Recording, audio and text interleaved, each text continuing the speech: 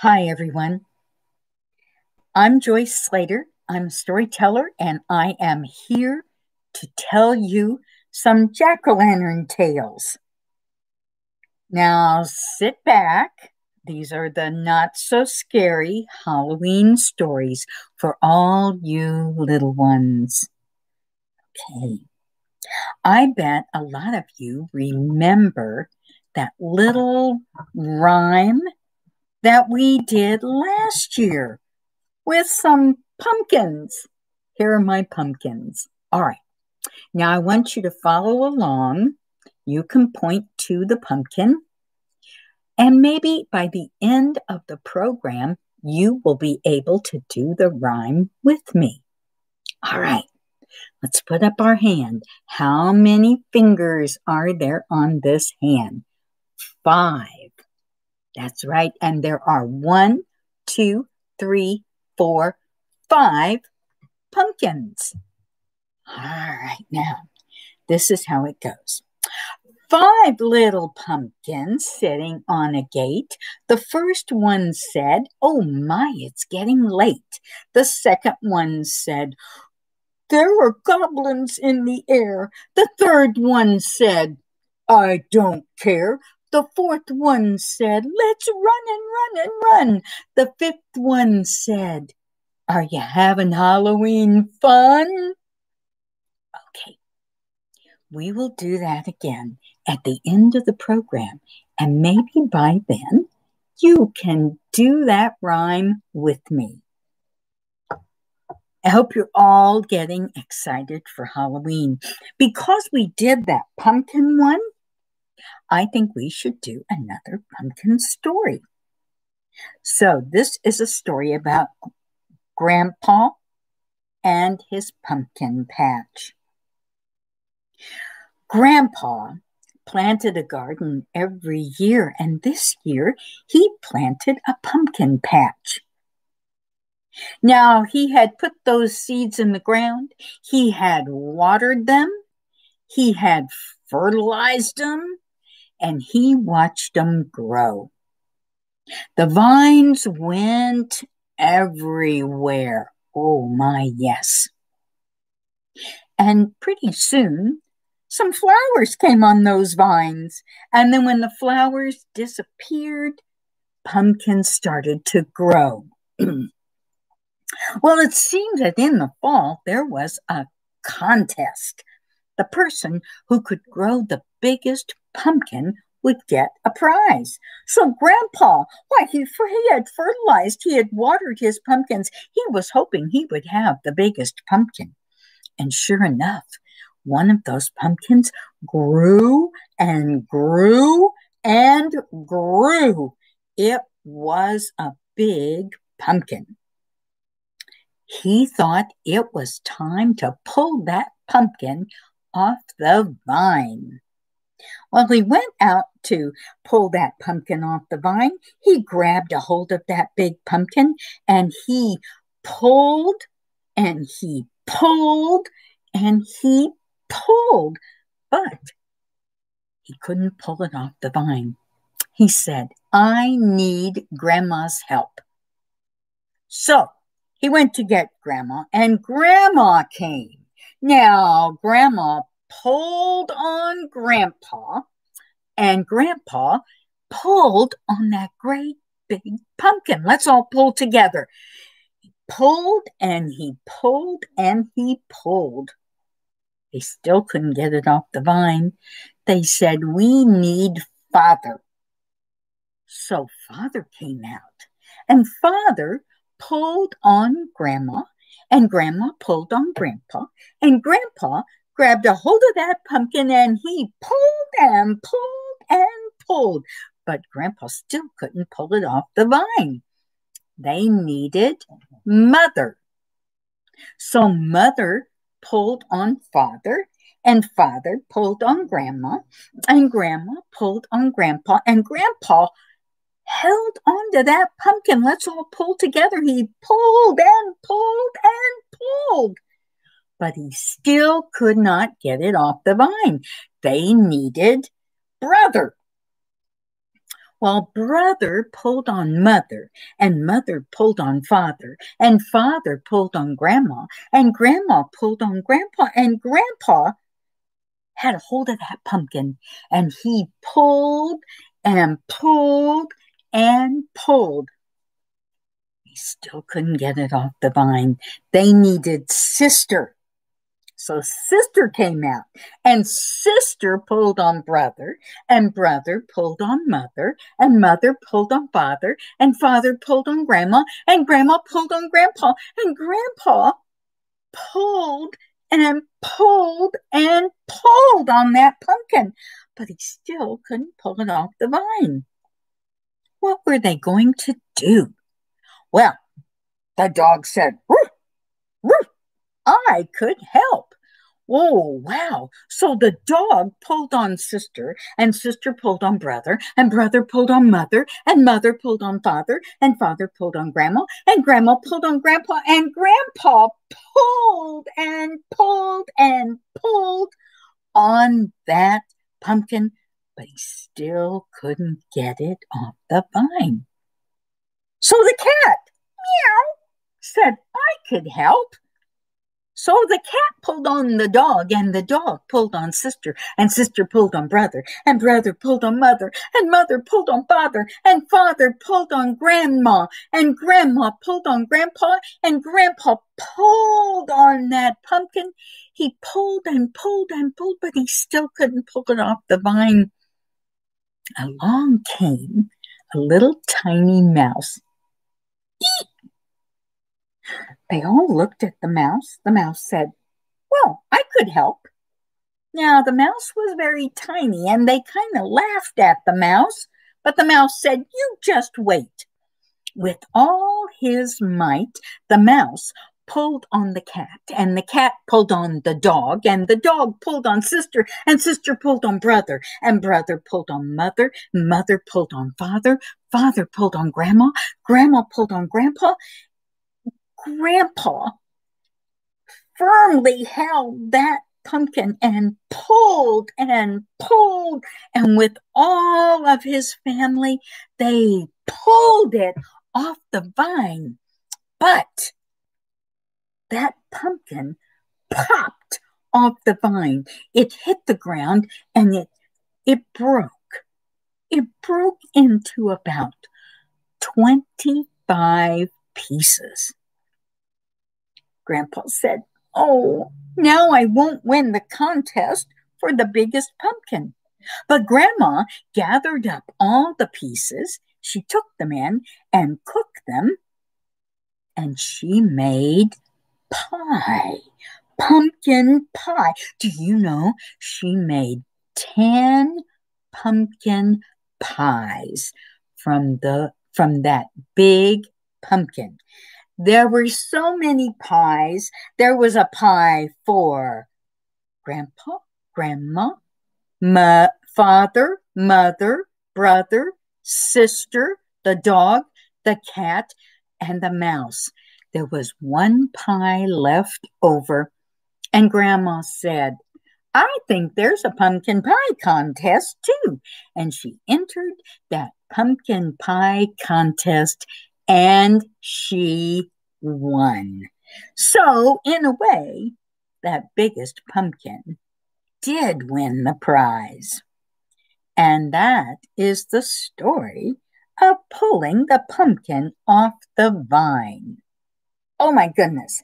I hope you joined in. If you did, give yourselves a big hand because that's so important. And remember who was in that story. Okay, now I have a story. It's not about a pumpkin, but it's very similar to a pumpkin. It's a gourd. How many of you know what a gourd is? You know, sometimes gourds are funny shaped, but a pumpkin is sort of like a gourd, except sometimes gourds get really hard. You could almost knock on them and they would make a sound. So there was a little old lady one day. She was in her house and she was making biscuits. Now, She was rolling out the dough and folding it back. Let's do it together. She was rolling and folding and rolling and folding. She was getting very thirsty, so she went outside to the creek and she had her gourd. It was an old gourd that was really hard and it had been carved out, and so it was like a cup. She went to reach down to get some of that nice, cool, clear water when she tripped and her gourd fell out of her hand and went floating down the creek. Oh no, she ran after it, but she couldn't catch it. She said, I need another gourd so I can drink my water. Let's all do that together.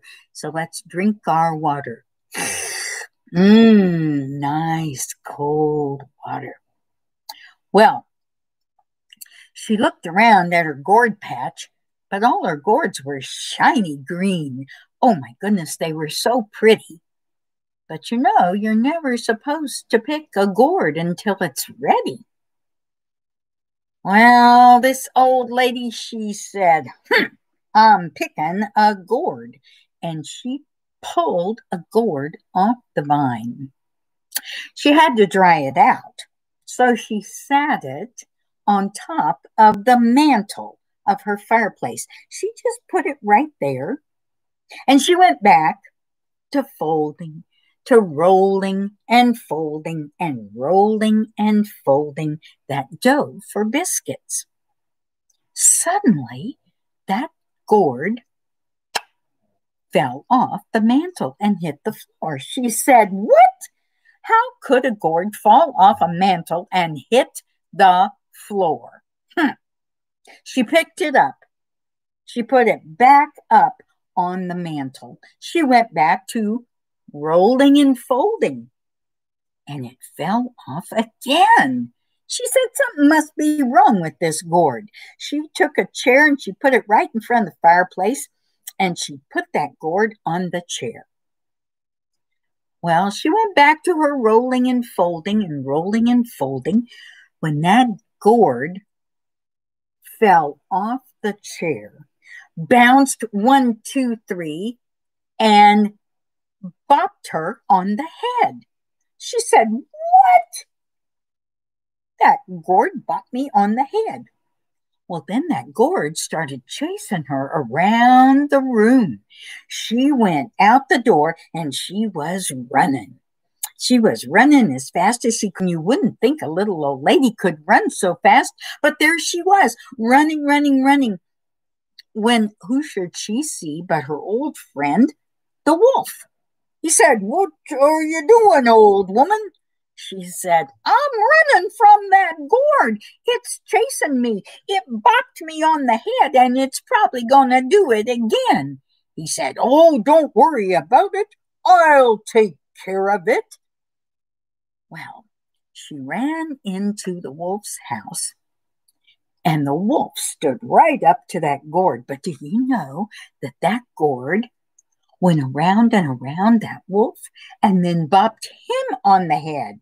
And he said, Oh, oh, no way, old woman. I think you're on your own. Goodbye. And she ran out of the door and started running again.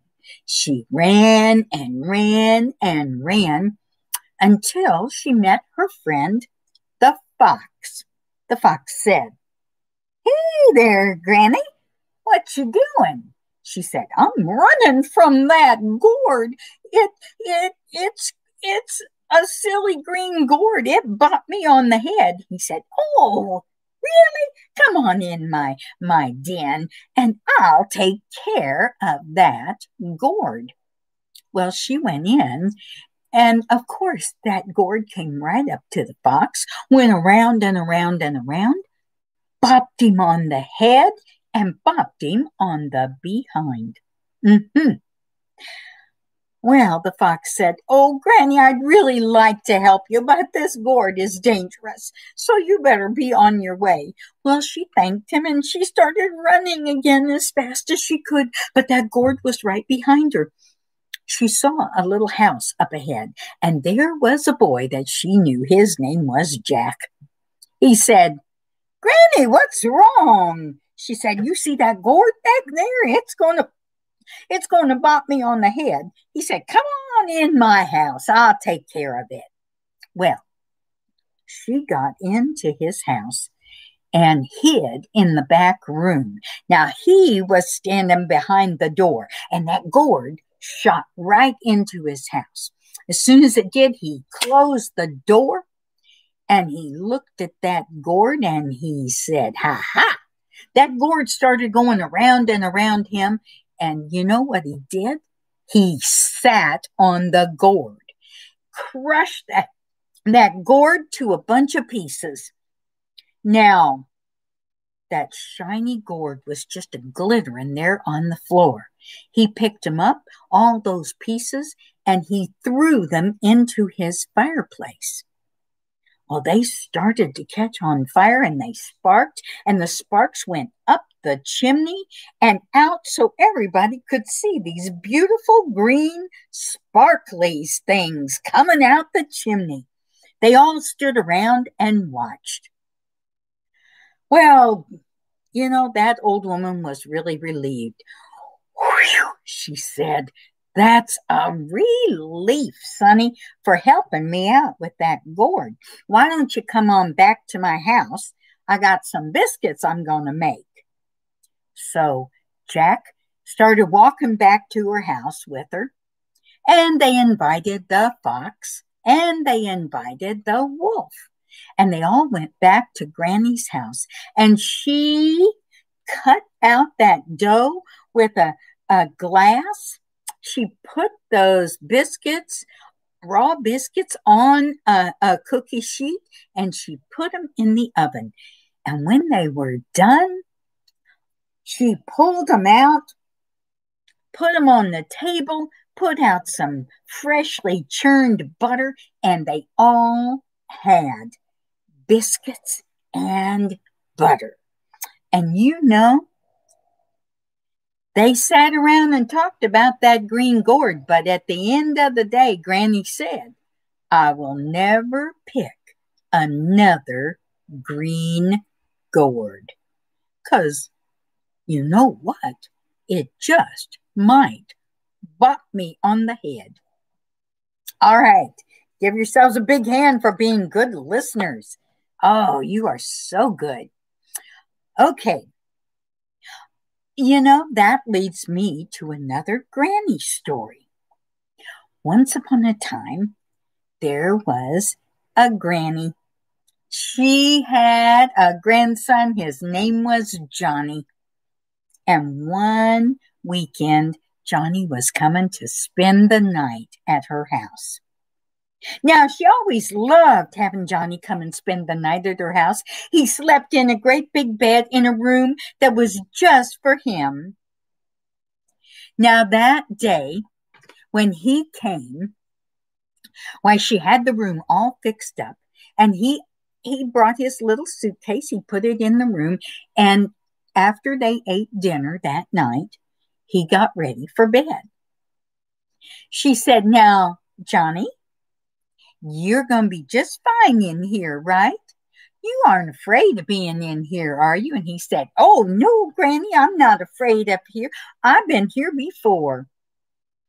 That night, after he climbed in bed and Granny kissed him,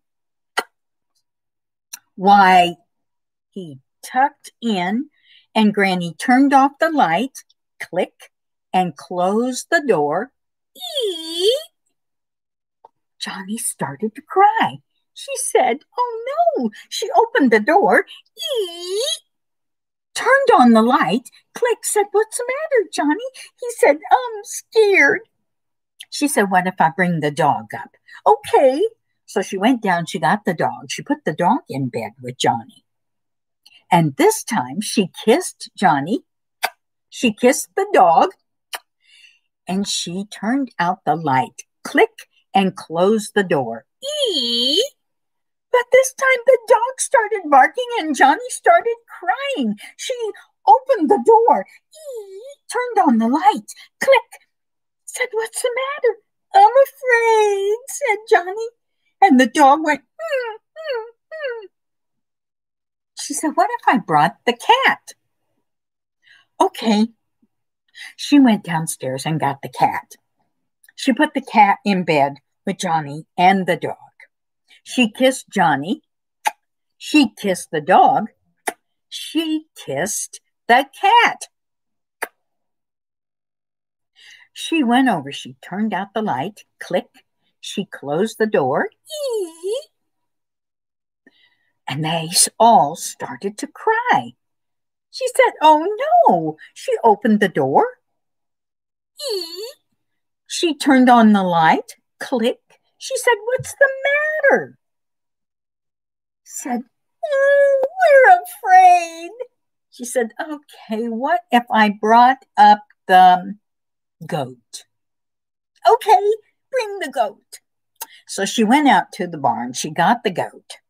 She brought the goat in. She tucked the goat in bed with Johnny and the dog and the cat. And this time she kissed Johnny. She kissed the dog. She kissed the cat. She kissed the goat. She turned out the light. Click. She closed the door. Ee. And they all started to cry. Oh no, she said. She opened the door. Ee. She turned on the light. Click. She said, What's the matter? They all said they were afraid. Oh dear, what if I bring the horse?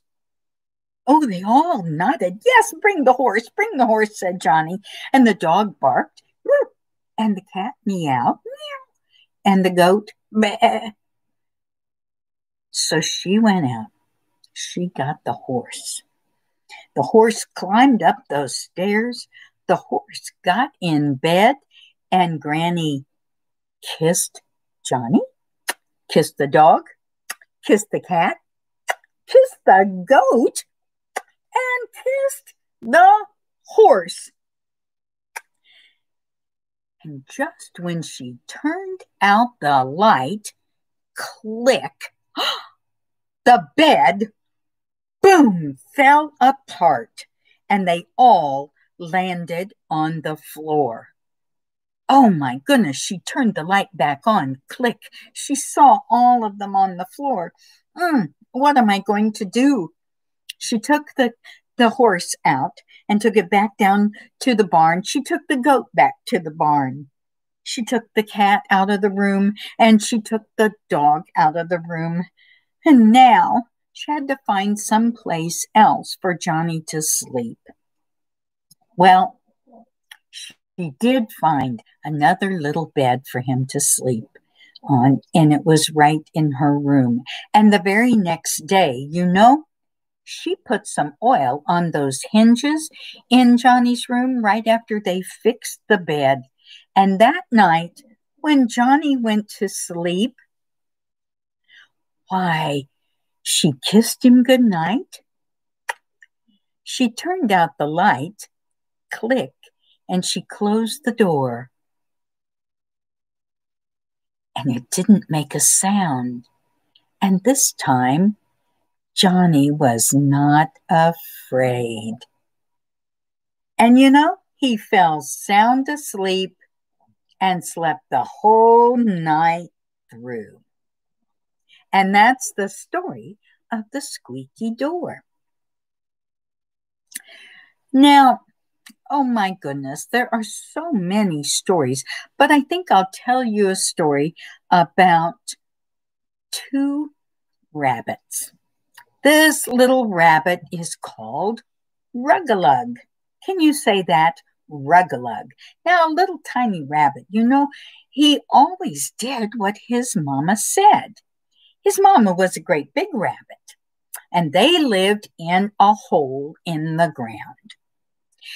Now, his mama always said to him, When I leave, you make sure you stay in that hole because there are scary things out in the world. And Rugalug would say, Yes, Mama, I know. I'll stay in here because I always do what you say, Mama. Well, he was tucked in that hole when he heard something in the grass. It went swish, swish. He thought, what is that? Swish. Can you do that with me? Swish. He pulled one ear up out of the hole so he could hear better. Can you pull one ear up for me? And he heard it louder. Swish, swish. He pulled the other ear up. Now he could hear it even better. Swish, swish, swish. He thought, what is that? It seems to be very near. He raised his eyes up over the hole. He couldn't see anything, but he heard swish, swish, swish. Then he popped his whole head up and he looked around. And there it was. It was a snake. It was going swish, swish, and it reached up and it grabbed that little bunny. Oh, oh no! Now that little bunny started squealing. Whoa, whoa, mama, mama, mama. You know, just like we all do when we get in trouble. And of course, his mama heard him because her ears were much bigger and she heard her little baby crying, she came hopping, hoppity hop, hoppity hop, hoppity hop, hoppity hop, as fast as she could. And she found her little baby in the in the throes of a snake, not around his it was around his whole body. And you know what she did? Why, she had some big feet she took one of her big feet and boom, she pushed that big old snake and kicked it clear across the field. And then she grabbed her little baby and they hippity hop, hippity hop, hippity hop, clear across the field and hid under a bush. And that was where they made their new home. Right under a bush and that snake never found them again. But you know, from that day on, that little snake stayed away from that rabbit. And that little rabbit, uh huh, that little rabbit never popped his head up out of the hole again. And he stayed safe. And he did what his mama told him to do. And that was little Rugalug. All right, let's see. What other story do we have? Oh my goodness. We have told the squeaky door, we told Rugalug, we told Grandpa and the pumpkin, we told the green gourd, and we told well, we told about the little pumpkins. Now let's see one little story to end before we go back to our pumpkins. All right. Once upon a time, there was a little boy. He went into a house. He heard this house. Well, it was all dark It was very, very dark. He was in a very, very dark house. And he heard something was going rap, rap, rap. He thought, what is that? He kept following it because this little boy was not afraid of anything. He went this way and that way, but he couldn't find it. He went up the stairs one, two, three, four, five, six, seven, eight, nine, ten. And he heard rap, rap. It was louder. He thought, where is it coming from? Where is it coming from? He couldn't find it. He looked in all the rooms, but he still couldn't find it. So then he opened the attic door, and it kind of creaked. And he heard it louder rap, rap, rap. He went up the attic stairs. One, two, three, four, five, six, seven, eight, nine, ten.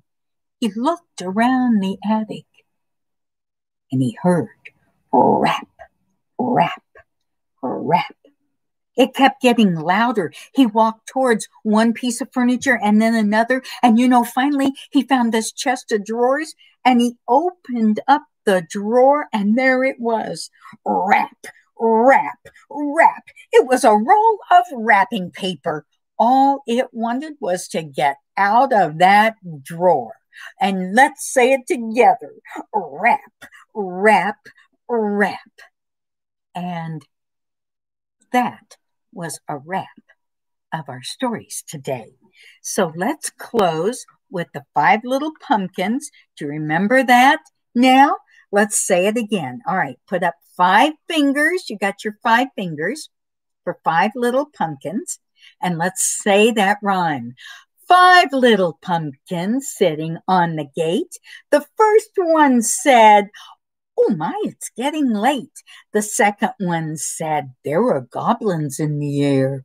The third one said, Oh, I don't care. The fourth one said, Let's run and run and run. The fifth one said, Are you having Halloween fun? All right.